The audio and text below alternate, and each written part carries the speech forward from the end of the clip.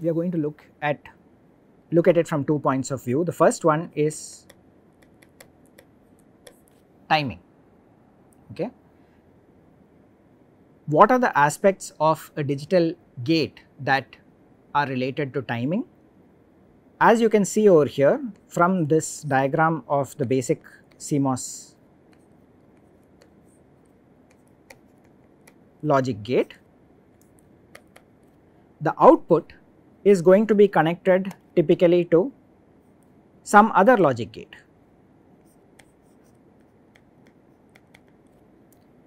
Now the input itself is essentially the gate terminals of two transistors which in turn because they are insulating essentially look like capacitances which means that the output in turn is going to look like some kind of a capacitance of its own. Okay. So, what does that mean? Now we have a capacitance.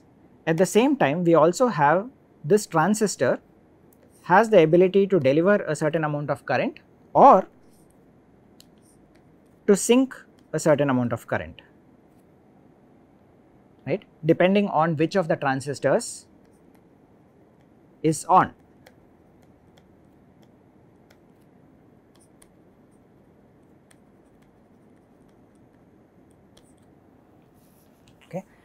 So, what does that mean? It basically means that we can now look at this particular thing and think of it as I have a current source and I have a capacitance. I want the output to go from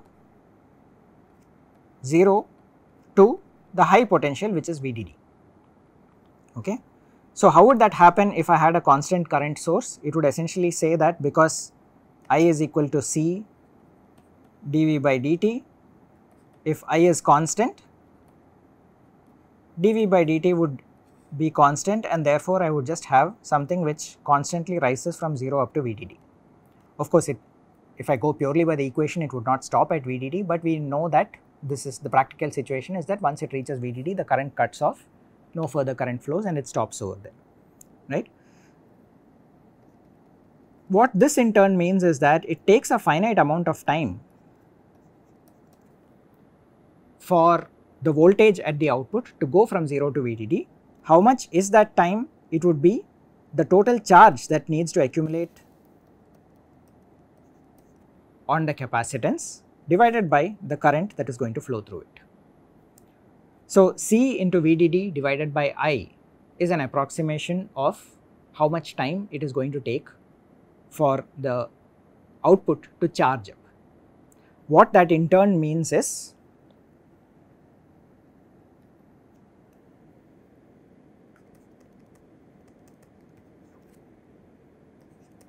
if the output load capacitance if it is high it means that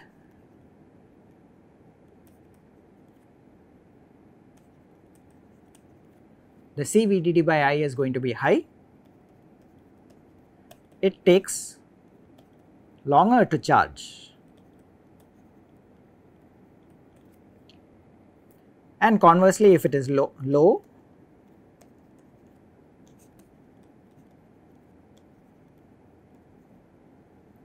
the output would charge faster in other words it would switch faster. Okay. So, this is one of the most important things that you need to keep in mind. The next part of it is what about I? Over here we need to be a bit more careful. The voltage VDD if this is higher it usually means the current is also higher. So, in other words a transistor which is which has got a higher VDD will be able to deliver a higher current than a transistor that has a lower value of VDD. Okay. Whereas what we can see over here is as far as T is concerned,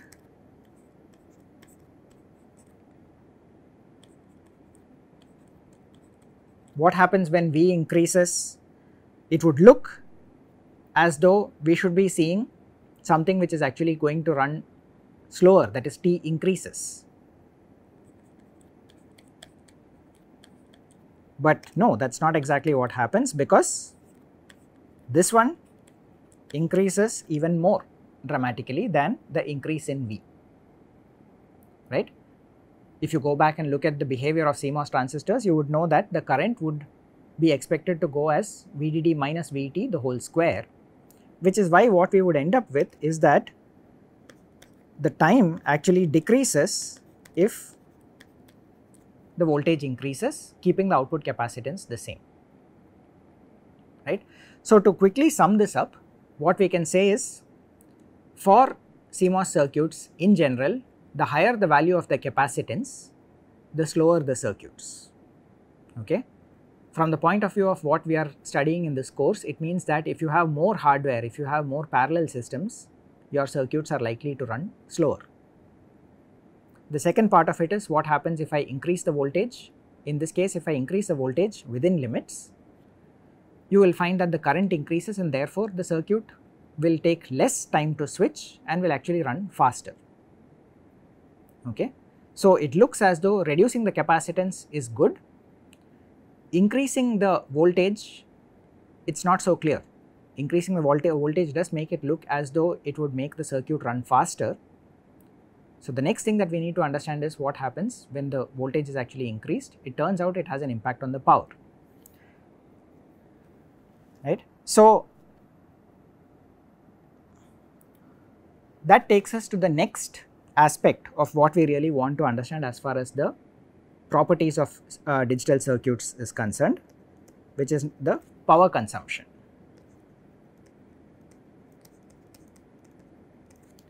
Once again going back to the idea of uh, circuit that is switching, essentially what we have is we can think of it as a current source from VDD that is driving some output capacitance. Okay. Let us say that the output is going from 0 to VDD over some duration of time. Okay. What we would like to understand in this case is what is the total energy extracted from the source and when I say source what I mean is the VDD source. Okay. In order to understand that let us look at what is actually happening over here there is a certain current I that is flowing into a capacitance and over time is going to charge that capacitance from 0 to VDD.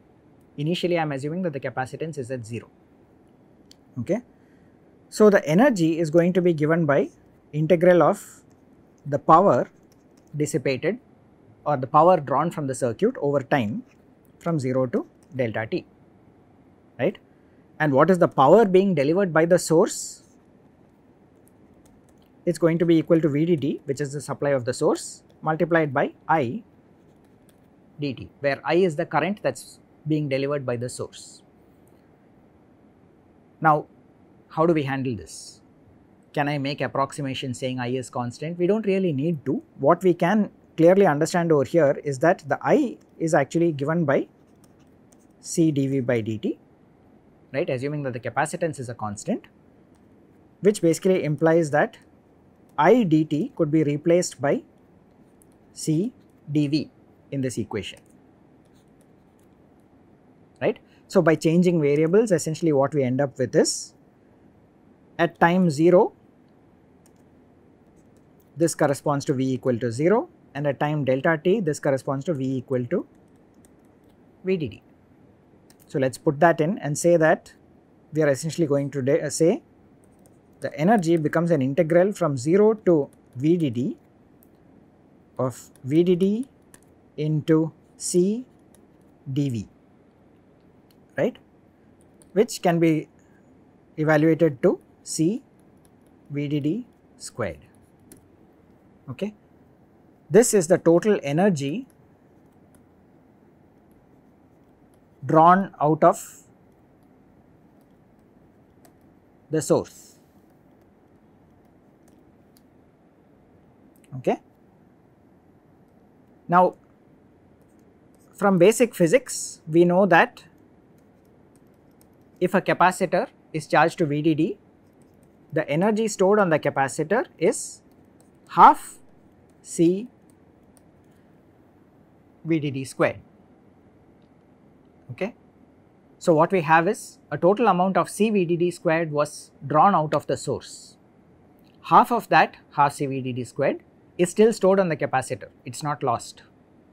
What happened to the remaining half CVDD squared? It has just basically been dissipated through the PMOS transistor that was used in order to charge the capacitor. Okay. And the second part would essentially be that same capacitor would then go through a discharge cycle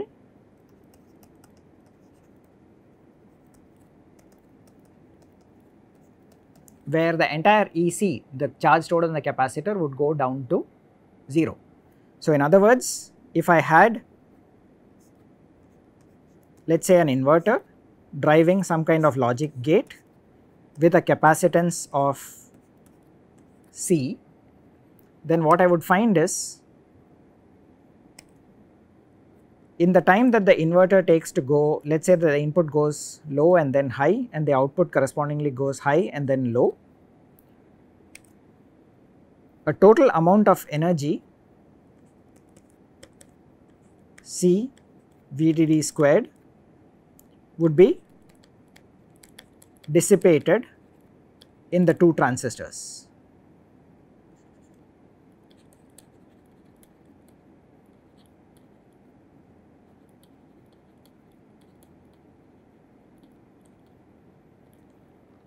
So, every time the gate goes through an up and down cycle like this, we would find that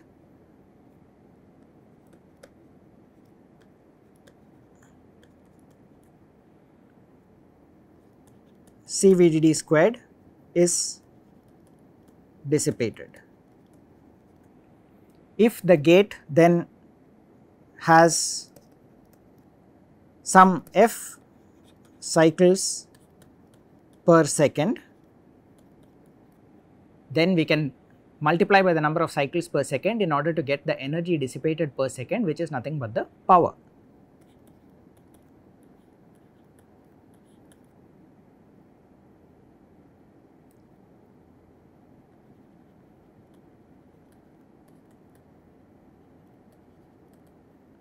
I am calling this the average power dissipation assuming that the f itself is the average number of cycles per second, right. The important thing to keep in mind is rather than worrying about this formula of why you have a certain amount of uh, you know directly saying CV square f as the power dissipation, it is more important to keep track of the fact that how many times is the circuit or that gate toggling, how many times is it switching, right. It does not matter whether it is done over a period of 1 second or 1 day or 1 year, if it toggles some n number of times, then n into Cv squared is or rather n when I say uh, toggles it basically a complete up down cycle. If it has n cycles, then n into Cv squared is the total amount of energy that it would dissipate. And the therefore the average power would be basically that divided by the amount of time within which that switching has occurred.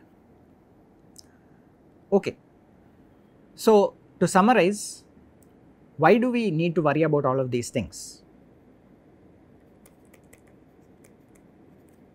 We know that digital systems are used in order to implement the hardware that we are uh, interested in.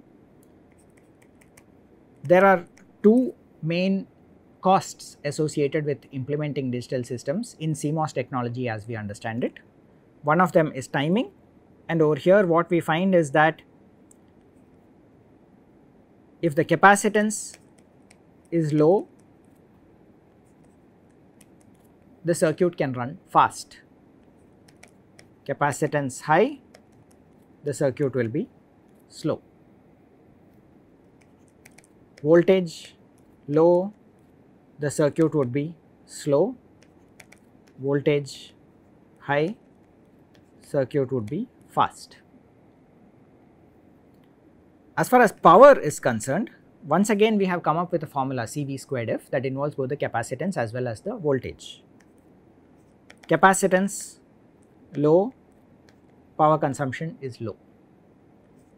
Capacitance is high, power consumption is high. Voltage low C V squared, right?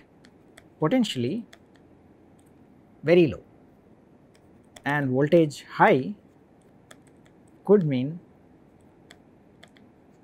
very high, right. I am using the words very in a very loose sense of course over here, but you get the idea it is the quadratic uh, uh, effect versus just the linear effect of the voltage on the timing or the power. So, as far as a designer is concerned these things are now contradictory right. I can have a fast high power consuming circuit or I can have a slow but very low power circuit right.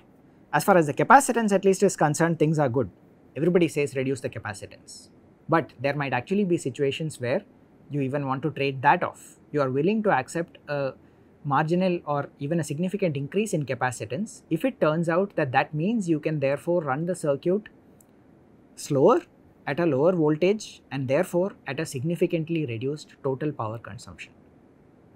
Okay. These kind of equations which have the contradictory requirements are what makes the design game the most interesting thing at the end of the day.